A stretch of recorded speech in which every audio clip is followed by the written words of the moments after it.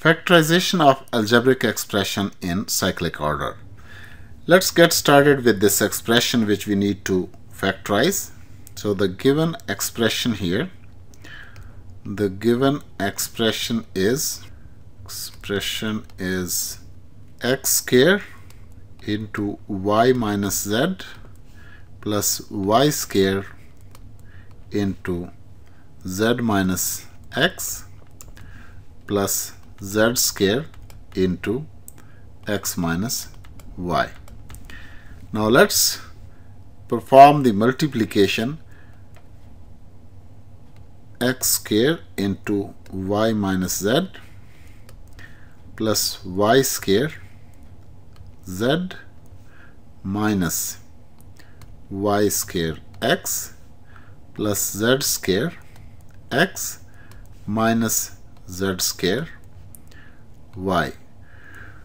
We needed to group these terms but as there are many terms so now students might feel kind of all over the place but that's not the case. In fact we want a quadratic equation in x and that is the reason I didn't simplify the first term. I kept x square out and now I'll keep this term as such x square into y minus z and look for the terms involving x.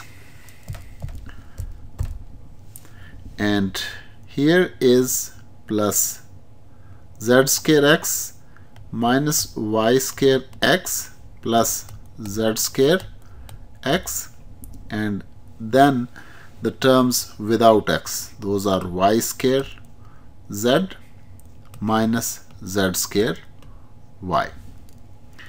And from these terms we already have x square into y minus z. And let's take minus x common. And inside would be y square minus z square plus let's take y and z common and this will give us y minus z. If you look throughout the terms there is y minus z, here is y square minus z square, here is y minus z. Obviously this the middle one y square minus z square is a difference of perfect squares so we can factorize this x square into y minus z minus x into y minus z into y plus z plus yz into y minus z. Now you can see that y minus z, y minus z and y minus z is common throughout the three terms. Therefore, we take y minus z common leaving inside x square minus x time y plus z plus yz.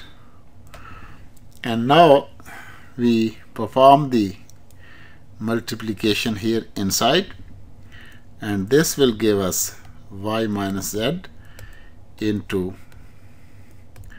x square minus x y minus xz plus yz and let's take x common from these two terms and from these two terms we'll take minus z common. This will give us y minus z into if we take x common that will give us x minus y and minus z common that will give us x minus y again. And now x minus y is common between these two terms. Therefore we take y minus z out and x minus y here into x minus z. Now because the cyclic expression has factors which are in cyclic order as well and cyclic order is like this. If you have x y z so if this is x this is y this is z. So y minus z that's right and then x minus x minus y so we can and uh, write minus y y minus z to z minus x into x minus y. So this is a cyclic order and these are the required factors. Let's do another question here. Example factorize the cyclic expression the cyclic expression and the expression here is a square into b plus c b plus c plus b square into c plus a plus c square into a plus b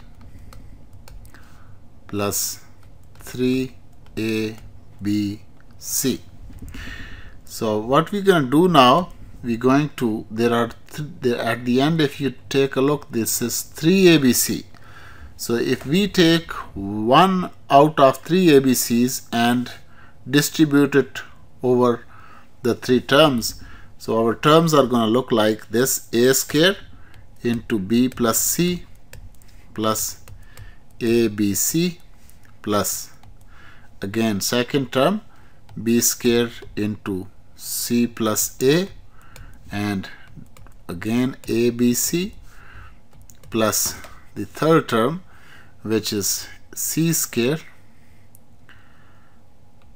into a plus b plus abc so we have distributed 3 abc to all the three terms one by one now we have if we perform the multiplication this would give us a square b plus a square c plus abc similarly here b square c plus b square a plus abc plus c square a plus c square b plus abc now we have kind of three groups here. This group this group and this group here. And if we take common that is what can we take common out of this group? We can take a common which will leave inside AB plus AC plus BC and if we take common B from here this will give us BC plus BA plus AC and if we take C common that will give us CA plus CB plus AB and you can see that AB plus AC plus BC and AB plus AC plus like these three terms are common throughout and we can write them A B plus BC plus CA and into A plus B plus C. These are in cyclic order and is a factorization of the given expression. Now we are going to give one question for you to try and here try this question on your own and if you don't know how to do it please post your question in the comment section and I'll try to answer as soon as I can. A factorize factorize a into b square minus c square plus b into c square minus a square plus c into a square minus b square